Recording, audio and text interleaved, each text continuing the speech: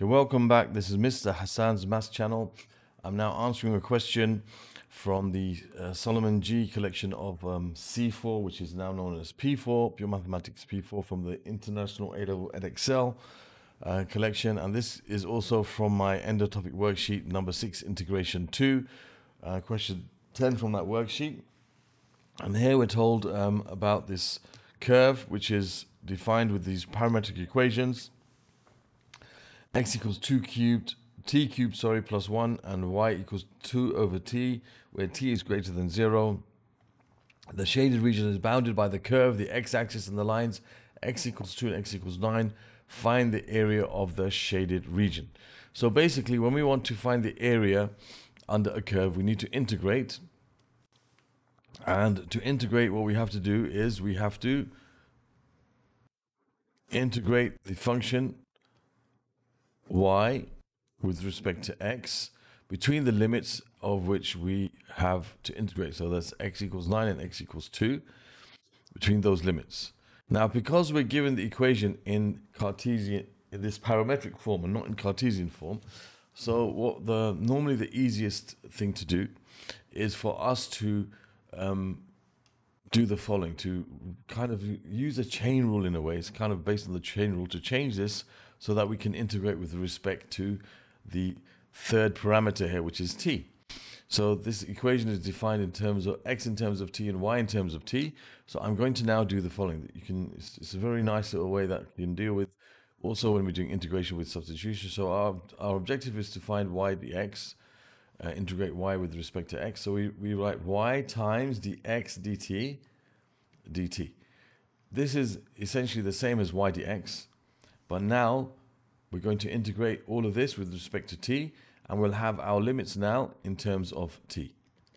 Okay, so now what we have to do is we have to write in place of y, what y is in terms of t, which you already have, in, place of dx dt, whatever dx dt is, then we integrate all of that with respect to t with the limits, but the limits must be in terms of t.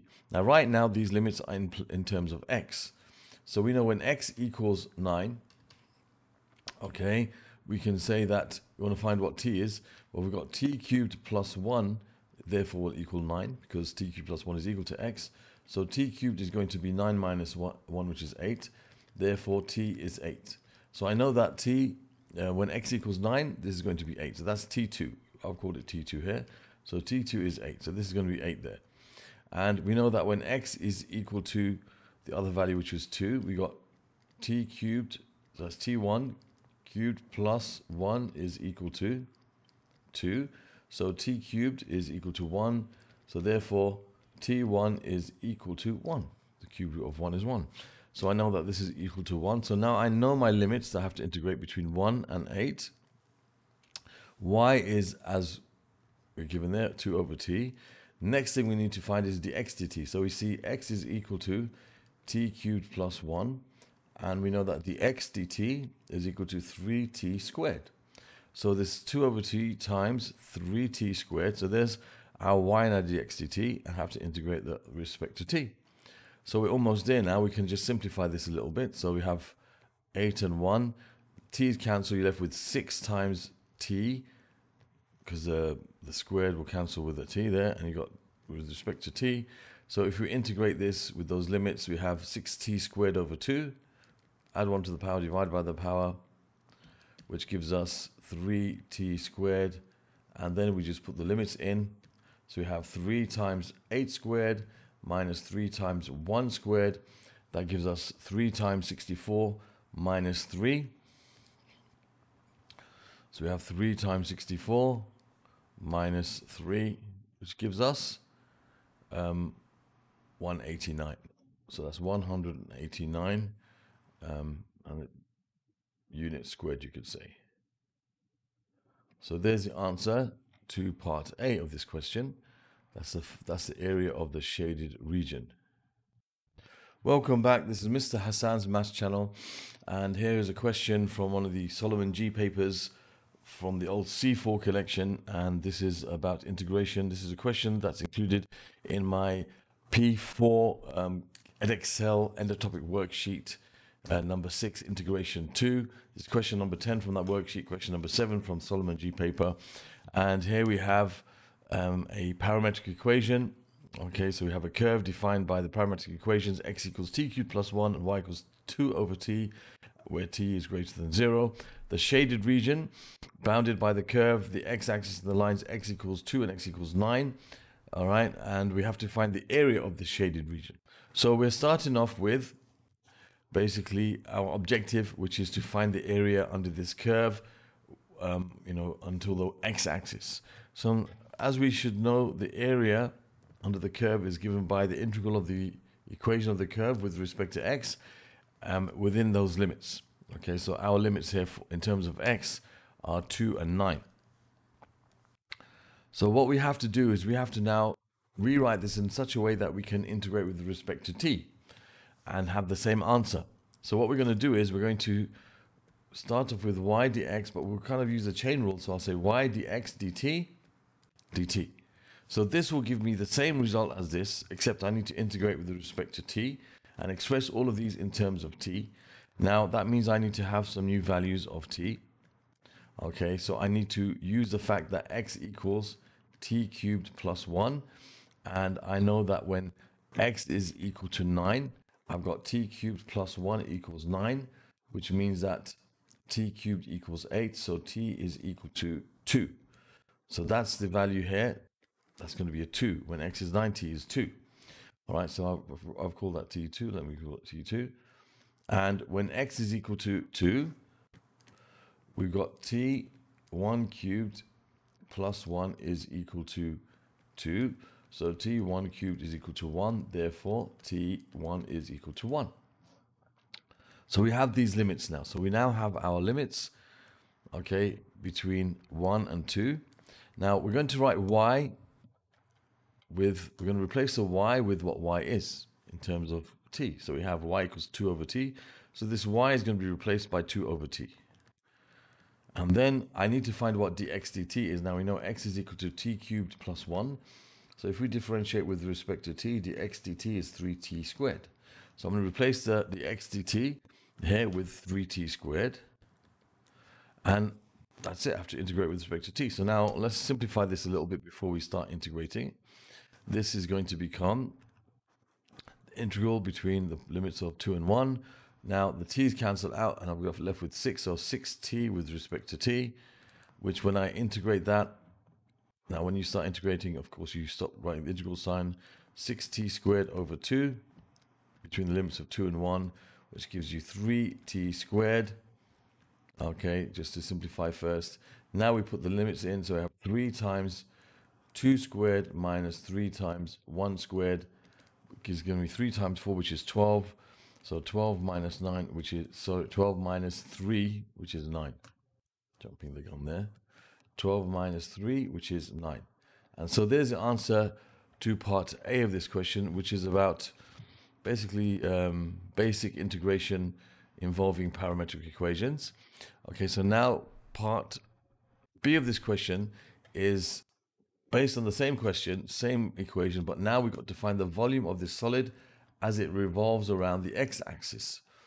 So if it revolves around the x-axis through 2 pi radians, meaning 360 degrees, one whole revolution, you're going to have a solid that's formed. And there's a few videos that you'll see in the playlist of the volumes of revolution where I've given you an animation and show you exactly how this works. But basically, this is whole shape is revolved around the x-axis, leaving us with a solid, three-dimensional solid made up of, you know, this kind of shape. And as we discussed in those videos that you can watch, you'll be able to see that one of these you can you can consider a small slice okay of this solid as a cylinder with radius this distance which is y and thickness a small amount in x. So if I want to find the volume of that small thing it's like a small tiny bit of volume we call it dv it's equal to y times dx. If I want to add up all those cylinders from from from 2 to 9 then I integrate between 2 to 9. Okay. Um, basically y. So dv is pi y squared dx, sorry. Let me just start that bit again, sorry. we know that the volume, the, the radius of this is y, and we know that the volume of a cylinder is pi r squared h. So if the, the radius is, is like y, then you're going to have the volume, or the small tiny slice of volume is pi times, instead of radius, y squared times dx. Okay, that's the volume of this small cylinder, really thin cylinder of thickness um, x. So the formula for this, for the whole volume between 2 and 9 would be the sum of all of these little cylinders, which we can say is the integral, means the sum of all the cylinders between 2 and 9 of pi y squared dx. So the formula for the volume of revolution of a area around the x-axis is pi times integral of y squared with respect to x. I, I like to write the pi outside between the two limits on the x-axis. So if we if we basically relate this to our situation here, the volume would be pi times. Now the thing is, here again we have this in terms of t, just like we saw in the earlier situation. We have these things in terms of t. So what we do is a very similar thing as what, what we just did. So we, we want to find y squared dx, but we don't have things in terms of y. So we write y squared d, dx dt dt. All right, this is like uh, using the chain rule to re rewrite this in such a way that we can have things in terms of t's. So we already worked out that our limits 2 and 9 in terms of t are 1 and 2.